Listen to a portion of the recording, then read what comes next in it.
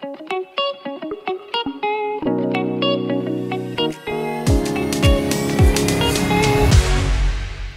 Sejam muito bem-vindos ao podcast da Porto Editora. Nos próximos minutos vamos olhar para o projeto pedagógico ativamente para o ano 2 do ensino profissional.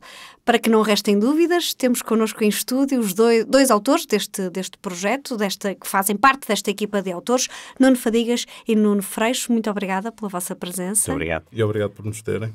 Ora, vamos então uh, começar a olhar com mais detalhe para este projeto e gostava, vamos começar pelo título, portanto, o que é que vos levou a chamar este projeto de Ativamente? Bem, uh, no fundo, uh, a ideia que foi discutida entre, entre todos nós seria um pouco de, pensando, estamos a falar, a falar do manual de psicologia para o ensino profissional, foi no fundo encontrar dois conceitos que, quando conjugados um com o outro, pudessem ser uma, uma boa metáfora, uma boa imagem daquilo que de facto é, é a psicologia no ensino profissional. E a primeira palavra que aparece, que nós associamos muito com a psicologia, é precisamente a palavra mente. Uh, e, portanto, ela está claramente plasmada no título do manual, ativamente, não é? Portanto, a psicologia, de facto, sendo um estudo da, da, portanto, do comportamento e dos processos mentais, é, é um termo que, que, goza de alguma importância.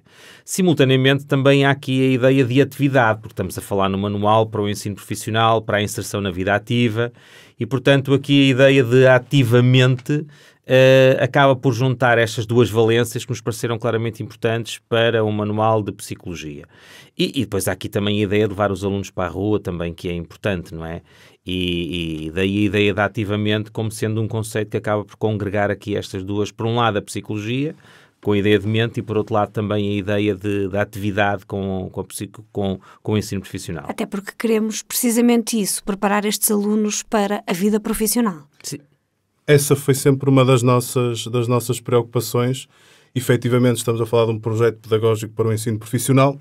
Nesse sentido, também podemos dizer que fomos buscar este título quase como uma marca, não é? Quase, quase como uma, uma visão eh, comercial, digamos assim, para aquilo que poderia ser o ingresso no mundo do trabalho, no, no mercado ativo. Eh, nesse sentido, então, fomos buscar a palavra ou a expressão ativamente. Um, importante aqui referir que nós brincamos um bocadinho com a palavra, ou seja, fomos buscar aqui o pensamento divergente, porque escrevemos de uma forma que não existe, não é? com o parênteses ali no, no segundo A, uh, e também foi no sentido de promover alguma criatividade no título, tentarmos uh, levar quase ao questionamento só por olhar para um título. Se me permitem aqui uma provocação. Uh, a escolha deste nome também pretende, de certa forma, desconstruir esta ideia de que o ensino profissional é sempre muito prático e que não precisa de manual escolar. Exatamente. Para nós também é uma grande preocupação. Um, o uso do manual para nós é fundamental. Aliás, não é por acaso que somos uma equipa de autores, claro. um, sem dúvida alguma, mas efetivamente não existem parentes pobres naquilo que diz respeito ao ensino. Uh, não existem currículos de primeira, não existem currículos de segundo, existem currículos alternativos. Nem alunos. Nem alunos, exatamente. exatamente. Mais importante ainda, nem alunos nem alunas. Mas, um, nesse sentido, fomos também buscar um, um, manual que procure ir ao encontro deste currículo. É? Deste currículo que efetivamente é um currículo cheio de valências e nós procuramos que o nosso manual esteja à altura dessas valências que acreditamos que um currículo, como o currículo do ensino profissional, consegue ter. Até porque há espaço para tudo, não é? É preciso saber fazer e aprender a fazer uh, nas diferentes áreas da sociedade. Claro, e há, um aspecto até que é, que é, importante e deve ser ressalvado, não é? Uh, nós, quando falamos de uma atividade profissional, falamos de competências, falamos de saberes fazer, não é? Da ideia de um saber fazer. E se nós olharmos bem para o conceito de saber fazer, eh, nós, isto é quase como às vezes a ideia do, de olharmos para, para, o, para o ser humano como sendo um animal racional e quase sempre o nosso foco vai para o, para o racional e esquecemos o nosso lado animal. Aqui é a mesma coisa, ou seja, nós falamos de saberes fazeres, o que significa, portanto, que uh, que o fazer de facto é importante, mas o próprio conceito incorpora a ideia de saber. E são esses saberes que, no fundo, nós, que nós temos que incorporar. E daí a ideia do livro como sendo um aspecto essencial para que o aluno saiba, no momento em que entra no ensino profissional, saiba efetivamente fazer o trabalho que tem que fazer. Portanto, não, não são conceitos que se dissociam uma coisa da outra. Só que, de facto, nós temos sempre este problema, não é? Colocar o foco no final da, do, da expressão e não tanto no seu início, não é? E o manual escolar responde a este saber fazer? Pode responder? É uma forma? É um instrumento? Sim, sim. Tanto é, por exemplo, para dar um exemplo mais específico, um, eh, por exemplo, o, o, os últimos módulos, o último módulo desta, desta disciplina é um módulo uh, que tem a ver com a inserção na vida ativa, não é? Por exemplo, uma das coisas que o manual contém é uh, como elaborar um currículo vitae, sobre como, como chegar a uma empresa, conhecer essa mesma empresa. Portanto, tudo isso são aspectos que, que também fazem parte da literatura. Há até, há até literatura especializada nesse domínio.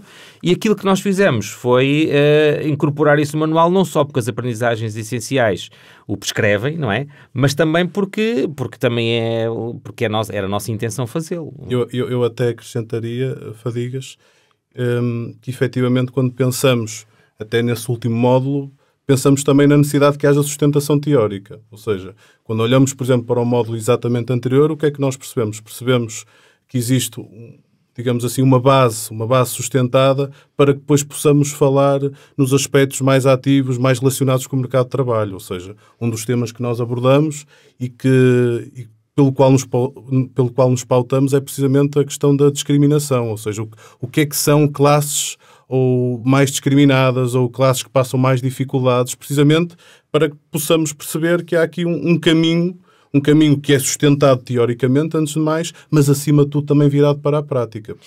E, e, já agora dizer também que, quer dizer, a, a, visão do que é um manual escolar, não é? é? Também mudou muito com o passar do tempo, ou seja, longe vão os tempos em que o manual, eu por acaso, é, é uma área que domino relativamente, fiz um estudo precisamente sobre, sobre os 40 anos do manual escolar, desde o ano 75 até, até 2015, se a memória não me trai, e, e recordo-me ver os primeiros manu os manuais fazer nessa altura, que muitos deles eram três perguntas, muito texto e não havia esquemas praticamente, as imagens eram praticamente residuais.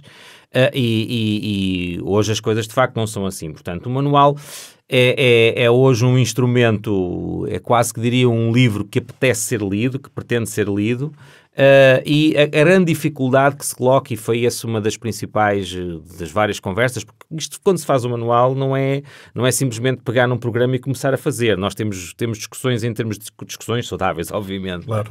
Temos discussões em equipa sobre como é que nós devemos fazer, não é? Ou que tipo de metodologia queremos seguir, uh, e até do ponto de vista didático. Mas, mas há, aqui, há aqui aspectos como, por exemplo, um, há um equilíbrio que é sempre muito difícil fazer no manual, que é fazer um manual que seja suficientemente aberto para o professor para que ele possa escolher diferentes percursos alternativos, mas que também seja suficientemente fechado para o aluno. Porquê? Porque o manual tem que orientar o aluno. O manual é sobretudo feito para o aluno. O professor utiliza, mas ele é sobretudo feito também para o aluno poder fazer o seu estudo domiciliário e por aí fora. Portanto, aqui, aqui o, o que nós temos que pensar é o seguinte: temos que fazer, por um lado, o manual que não seja suficientemente fechado para que o aluno não sinta, para que o professor não sinta o manual como uma espécie de um cinto de forças, mas que também que não seja demasiado aberto, porque caso contrário o aluno, em vez de entrar no manual, entra num labirinto. E também é. não é isso que se pretende. E, e, e tem, de haver, tem de haver flexibilidade, Exatamente. sem dúvida alguma, mas esta flexibilidade tem de ser de alguma forma condicionada. Exatamente. Um... E como é que se atinge esse equilíbrio? O equilíbrio passa primeiro por discutirmos muito, acho sem dúvida alguma, no bom sentido. Por nos lermos muito. Por também. nos lermos por muito. nos lermos muito. Porque, desculpa interromper, força, Freixo, porque quando nós fazemos um manual, uh, isto não é cada um faz uma parte e a coisa está feita, não é nada disso, não é? Portanto, de facto, pode, como faz-se uma distribuição das tarefas, como é óbvio, porque é assim também que se trabalha em equipa, mas depois todos lemos as partes cada, que cada um inicialmente faz e, portanto... É essencial uh... que, haja, que haja uma coerência, ou seja, como é que se conquista então um manual não demasiado aberto, não demasiado fechado. Tem de ser sempre conversado por todos. Ou seja, para que haja esta linha de coerência, é mesmo essencial que consigamos todos poder ver o que é que os outros estão a fazer, não no sentido de vigiar, mas Exato. também no sentido de aprender e criarmos uma linguagem comum para que não haja diferenças. Foi o Fadigas a escrever o, o capítulo 6 ou o módulo 6 e o Freixo a escrever o módulo 7, por exemplo. Não, a ideia é mesmo que haja essa linguagem comum flexível, ou seja, com bastantes propostas, daí também o ativamente, ou seja, há efetivamente uma preocupação que o próprio manual seja um digamos assim, um fundo, um espelho de atividades não é? para os alunos e com os alunos e, ao mesmo tempo, ainda assim, delimitar uh, aquilo que não deixam de ser as, as aprendizagens essenciais, o que é essencial, não é? Eu acredito que aí a vossa experiência letiva tenha sido e que Imenso. seja uma mais-valia e, e É com certeza que quem pega no vosso manual também se revê com essas É fundamental. Um, uma das maneiras que nós, a propósito ainda da questão sobre como é que nós conseguimos esse equilíbrio, a primeira coisa passa por uh, didatizar, na, didatizar QB, ou seja, nunca se pode didatizar demais, sob pena, a didática tem que estar presente, as disciplinas, cada uma delas tem a sua maneira mais eficaz de, de, de fazer com que os conteúdos cheguem ao lado de lá. Isto é, isto é um, um aspecto também muito importante, porque nós muitas vezes, quando falamos em aprendizagens essenciais, estamos a falar que o trabalho do professor é sobretudo garantir aprendizagens, não é tanto ensinar, é sobretudo garantir que do lado de lá os alunos com os seus diferentes perfis vão, vão aprender. Se permites, e para isso, o, des- o desafio de ser professor não é ensinar, eu costumo dizer, ensinar é fácil, o difícil é fazer aprender. E, exatamente. esse é que é o desafio. garantir o aprender. E muitas vezes, eh, um projeto, por exemplo, por alguma razão, a, a- a forma como, como, como, como hoje se desenha o manual mudou, mudou. Hoje falamos em projetos. Isto não é uma mudança que aconteceu por acaso, ou seja, porque de facto um professor hoje não recebe um livro, recebe um livro acompanhado de um conjunto de materiais, que são os materiais que ele pode ir explorando durante o tempo em que o manual está adotado, e, e é aí que se nota precisamente a flexibilidade QB. Depois, o didatizar QB também tem a ver muito com ah, não trabalharmos apenas e só com uma metodologia, mas com várias, mas penso sobretudo tem muito a ver com o tipo de materiais. No que diz respeito ao aluno, o manual ser suficientemente fechado eh, de modo a que ele não entre, sei lá, como eu dizia há pouco, num labirinto, não é? Digo isto porque estou-me a repetir porque às vezes já tenho disto mais do que uma vez, não é? Eh, tem muito a ver com, por exemplo, eh, quando se utiliza um conceito, é, é importante que o conceito esteja previamente bem definido, porque senão o aluno eh, Vai-se pega no conceito, vai-se perder porque não sabe muito bem o que está a dizer. Se o conceito estiver previamente bem definido, antes de trabalhar operacionalmente com ele, a coisa torna-se muito mais simples. Não, Portanto, o manual acaba por seguir mesmo uma linha de raciocínio coerente. Ou seja, todas as atividades, todos os conceitos, os textos estão sempre devidamente É uma, contextualizados. é uma segurança para o seja, aluno. Não vamos dizer que é um- uma peça de literatura, porque não é, ah, mas acima de tudo é, acaba por ser um livro de leitura fácil, no bom sentido, e leitura agradável. Ou seja, mesmo a forma como fomos buscar as imagens, os esquemas, os artigos, os próprios filmes. os próprios filmes, também falaremos ah, daqui a nada, mas todo- todos, todos os componentes do, do manual tiveram este- este- esta ideia que é uma organização, uma organização suave, uma organização que não seja demasiado presa, que dê espaço efetivamente para que haja até criatividade em sala de aula, quer por parte dos alunos, quer por parte do professor. Exato. Vamos então olhar para esse em grande plano, que é uma rubrica que vocês têm no Ativamente e que inclui vários fotogramas legendados de vários filmes, de séries, que são pertinentes para estas aprendizagens. E eu gostava de tentar perceber eh, o porquê. Ora bem, o em grande plano acaba por surgir como. Eu vou só eh, interromper sim, só sim, para sim. dizer, antes de mais, nós somos apaixonados por cinema. Exatamente. Ou seja, nós Temos uma equipa de cinéfilos, Sim, ou seja, sim, desde sim. logo tínhamos de conseguir encaixar o cinema, até pegando na mas é ideia, sempre uma boa estratégia para chegar aos alunos. claro que sim, até pegando na ideia de narrativa. Ainda bem que não gostamos demasiado de omeletes, não é? Tínhamos que meter para aqui umas omeletes pelo meio. Não, mas sem dúvida, e peço que te interrompido Não. fadigas. Não, mas o cinema, pronto, o cinema, ehm, nós, em primeiro lugar, temos que perceber o que é, um bocadinho o que é que é isto da psicologia. A psicologia é um estudo do comportamento, isso há pouco, não é? Eh, e tudo o que nós fazemos no nosso dia a dia é comportarmos. Nós estamos sempre, sempre, sempre a observar o comportamento dos outros, a sermos observados, portanto, todo, tudo o que nós fazemos acaba por ser comportamento. Ora, isto. eh, quando nós olhamos para um filme, o filme tem exatamente essa, essa, essa, essa, essa, essa, essa ideia, ou seja, o filme quase sempre é o quê? É uma história que está a filmar, é um, são pessoas em situações reais ou simuladas do ponto de vista do comportamento e, portanto, há histórias que efetivamente se enquadram, que são, são belíssimas ilustrações daquilo que nós estamos, que nós estamos efetivamente a lecionar e, portanto, acabam por ser eh, formas, eu costumo dizer muitas vezes que os filmes são autênticas viagens de estudo, não é? Ou seja, o aluno é como se saísse da sala de aula, eu estou-me a recordar de uma imagem há uns anos atrás, uh, que eu não posso aqui mostrar porque é um podcast, mas, uh, mas recordo-me que era o, o, Eduardo Prado Coelho a pegar no jornal e num recorte e, portanto, o, o jornal estava cortado e depois via-se a cara dele por trás. E eu vejo muito uh, o, o, em grande plano como se fosse uma coisa desse género. Uma seja, janela? Uma janela, exatamente isso. Ou seja, é como se a página estando completa, estivesse rasgada e de repente nós vimos em profundidade. Ou seja, estamos a ver o filme lá ao fundo. E o filme acaba por ser uma ilustração daquilo que nós queremos dizer. Depois há aqui um outro aspecto também que é muito importante, que é, é quase que uma espécie de uma pedagogia da imagem também. Uh, hoje em dia os alunos estão imersos em imagens, estou a imaginar que todos nós já passámos uns momentos desculpa a expressão, um bocadinho parvos a, a, ver reels, não é? Para trás e para a frente, que são imagens sem narrativa, sem, sem muitas vezes sentido, não quer dizer que não tenha a sua piada. E aqui o filme tem um privilégio particular, porquê? Porque, eh, porque envolve-nos dentro de uma narrativa e, e, e nós queremos ver o final, ou seja, no fundo é, no mundo submerso de imagens, há imagens que têm algum significado e que podem ser mais importantes do que outras. E nesse sentido há aqui também um gosto, digamos, uma pedagogia da imagem. É um pouco isso que eu queria dizer. Nós, nós apesar de sermos cinéfilos, tivemos, acima de tudo, uma preocupação com o tipo de filmes e séries e documentários que poderíamos escolher para, para este projeto. Uh, não íamos cair no erro, digamos assim, de ir buscar um Godard, um Tarkovsky, um Exato. Ingmar Bergman não é isso que se pretende, porque lá está, porque o manual é para os alunos, acima de tudo.